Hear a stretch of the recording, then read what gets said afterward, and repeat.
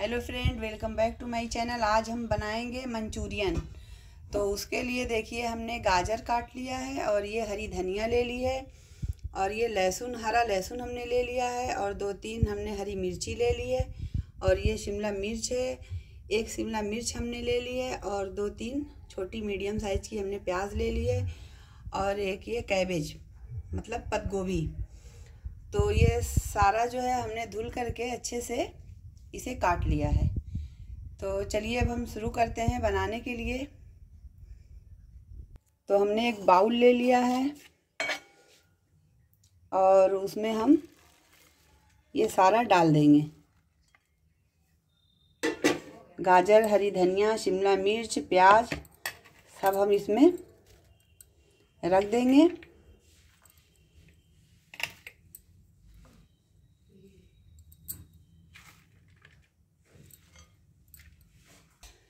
तो आप देख सकते हैं, हमने सारी सब्ज़ियाँ ले ली हैं और इसमें हम कॉर्नफ्लोर डाल देंगे और थोड़ा हम मैदा डाल देंगे। तो ये बाउल छोटा पड़ रहा है, इसके लिए हम बड़ा बाउल लेंगे और स्वाद अनुसार हम नमक मिला देते हैं। तो ये बाउल छोटा पड़ रहा है, अब हम दूसरा ले लेंगे और इसमें हम देखिए, सौ ग्राम तक हमने मैदा ले लिया है और पचास सौ ग्राम तक हमने कॉर्नफ्लोर ले लिया है। तो ये सब हम एक बड़े बाउल में मिक्स करेंगे। तो इसे हम सब अच्छी तरह से मिक्स कर देंगे। अच्छे से हम इसे मिला लेंगे। आगे का प्रोसेस हम बता रहे हैं आपको। तो देखिए, हमने सब इसे मिला लिया है। इसमें हल्का हम पानी भी ऐड कर देंगे। बहुत हल्का पानी डालेंगे ताकि गीला नहीं होना चाहिए। इसकी बाइंडिंग बन सके। इसको हम बहुत अच्छा सा मिक्स करेंगे।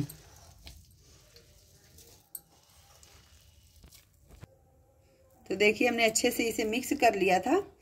अब हम इतना बड़ा बड़ा बॉल बना लेंगे। आप अपने हिसाब से बनाइएगा। देखिए बाइंडिंग बहुत अच्छी तरीके से बन रही है। तो तेल बिल्कुल हीट हो चुका है। फिर हम फ्लेम को धीरा कर देंगे। और पहले हम एक इसको तलेंगे। इसे देखेंगे कि ये खाने में कैसा है। अगर टेस्टी होगा तो इसी तरह पूरा हम बना देंगे और नहीं होगा तो इसमें जो कमी बेसी होगी उसे हम पूरा करेंगे। तो देखिए ये। तो ये देखिए मंचूरियन।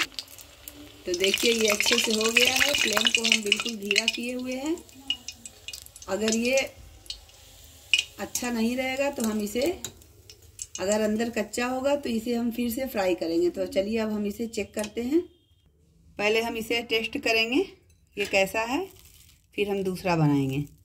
तो अंदर जो है अभी इसे हम दोबारा फिर से फ्राई करेंगे। एक बार जब हो जाएगा फिर हम दोबारा भी करेंगे। देखिए अभी थोड़ा ये कच्चा है। तो इसे हम धीरे आँच पे फिर से फ्राई करेंगे। अब हम इसे बिल्कुल परफेक्ट बना हुआ है। बस क्या करना है कि इसे हम एक बार से दूसरी बार फ्राई करेंगे।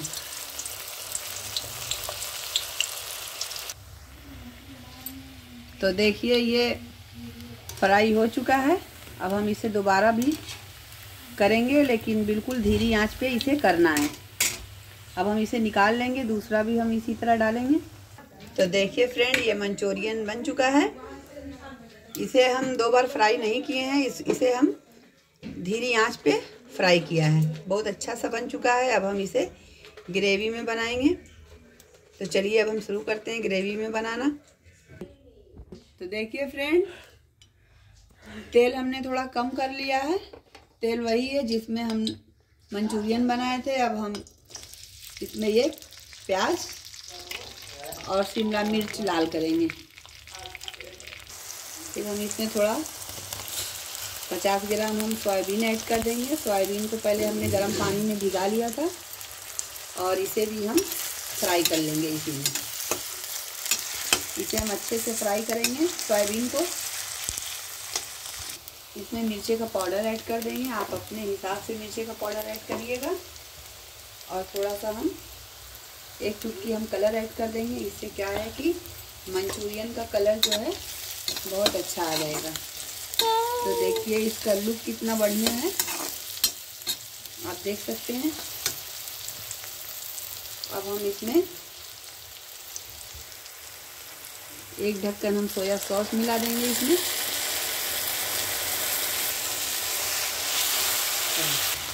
रेड चिली इसमें हम ऐड कर देंगे। और हम इसमें आधा चम्मच हम विनेगर डाल देंगे। एक स्पून हम ग्रीन चिली ऐड कर देंगे इसमें। और हम इसमें कॉर्नफ्लोर भी थोड़ा सा ऐड कर देंगे, फिर हम इसे चला लेंगे। और देखिए इसका लुक कितना बढ़िया है। अब इसमें जो है हम थोड़ा सा पानी भी ऐड करेंगे और ये इसे डाल देंगे। तो स्वाद अनुसार हम नमक इसमें ऐड कर देंगे और नमक हम मंचूरियन में पहले भी डाल चुके थे। तो ये देखिए, मंचूरियन बन के रेडी हो रहा है। अब हम इसे थोड़ा देर और पकने देंगे। तो अब हम इसे ढाक देंगे थोड़ी देर के लिए।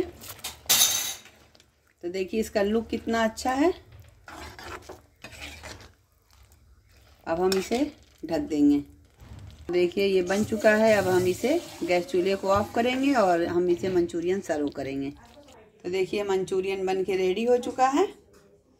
देखने में इसका लुक बहुत अच्छा है, खाने में भी बहुत ज़बरदस्त है। एक बार इसे आप भी ट्राई करिए। अगर हमारी वीडियो आपको पसंद आए तो इसे लाइक करिए, शेयर करिए और कमेंट करिए। Thank you.